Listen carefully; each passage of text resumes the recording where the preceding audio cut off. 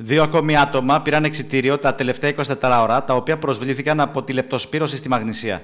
Πρόκειται για έναν άντρα 31 ετών και μια γυναίκα 40 ετών, σύμφωνα με τις τελευταίες πληροφορίες. Συνολικά πάντως έχουν καταγραφεί στο νοσοκομείο του Βόλου τέσσερα κρούσματα σε τρεις εβδομάδες.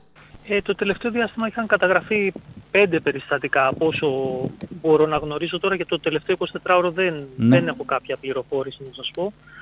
Ε, συνολικά κάπου εκεί πρέπει να κυμαίνονται τα κρούσματα τα οποία έχουμε. Σωστά. Γι' αυτό λέμε ότι πρέπει να προσέχουν όσοι κάνουν δουλειές, όσοι καθαρίζουν υπόγεια κλπ.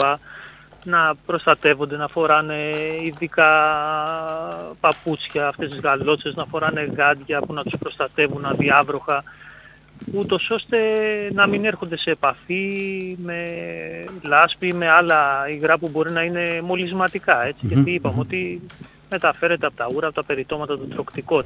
Ναι. Και δεν ξέρουμε αυτή η λάσπη από πού μπορεί να είναι, ούτε και μπορούμε να ελέγξουμε αν είχε έρθει σε επαφή με μολυσμένα τροκτικά ή όχι. Οπότε πρέπει όλοι να προσέχουμε.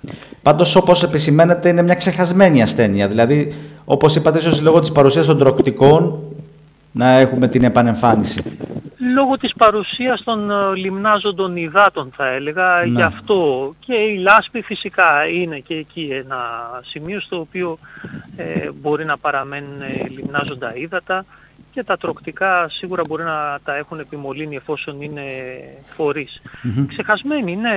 Η αλήθεια είναι ότι εγώ είχα να συναντήσω από όταν ήμουν ειδικευόμενος. Σύμφωνα πάντως με τους ειδικούς, τα κρούσματα λεπτοσπύρωσης και στην περιοχή της Μαγνησίας σχετίζονται με τα πλημμυρικά φαινόμενα και τα όσα έχουν συμβεί από εκεί και μετά. Πρόκειται, όπως λένε, για μια ξεχασμένη ασθένεια που ήρθε να κάνει την εμφάνισή της με αφορμή τις καταστροφικές πλημμύρες.